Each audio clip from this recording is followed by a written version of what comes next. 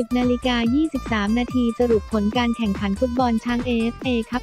2018 รอบคัดเลือก 10นาฬิกา23 นาทีท็อปฟี่บอลมัดเปิดศึกแย่งกองกลางอียิปต์ 10นาฬิกา2นาทีคลอปแจงเปลี่ยนเหตุซาร่าออก 9 นาฬิกา 46 นาทีราคิติชยันยังมีงานต้องทำที่กรุงโรม 9 นาฬิกา 14 นาทีเผยตำรวจเจ็บ 2 เหตุรถบัสเรือโดนโจมตี 8 นาฬิกา 56 นาทีเบาเบลโวทีมสมควรคว้าชัย 8 นาฬิกา 33 นาทียูเซบีโอรับไม่ได้หมาป่าพังยับ 8 นาาฬิกา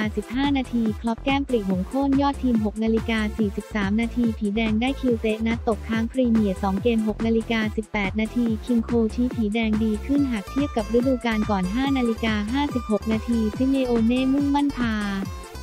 ทีมเข้ารอบรองยูโรป้า 5 นาฬิกา 48 นาทีแฟนบาร์ซ่าใช้ลูกโป่งเหลืองแสดงออกทางการเมือง 5 นาฬิกา 23 นาทีเป๊ปมองแง่ดีเชื่อเรือใบยังมีลุ้นพลิกเข้ารอบ 5 นาฬิกา 17 นาทีบิ๊กงูใหญ่เผยไม่เร่งต่อสัญญาอีกะดี 5 นาฬิกาลือไปเรื่อย ผีพร้อมดึงวิลเลียนแทนมาต้า 4 นาฬิกา 50 นาทีเห็นโด ชมเพื่อนโชว์ผลงานสุดแจ่มนัดจมเรือ 4 นาฬิกา 41 นาทีเชโกสุดเซ็งผู้ตัดสินไม่กล้าเป่าให้จุดโทษ 4 นาฬิกา 37 นาทีเรบเวนปัดปุ่น ปัดครีจี จ่อเซน1ปี 4 นาฬิกา 31 นาทีปีเก้รับไม่ง่าย แม้ทีมทลุมโรม่า 4 เม็ด4นาฬิกา 22 นาทีซัวเรสหยุดสถิติปืนฝืดในชอปอลอหลังกดดอกแรกในซีซั่นนี้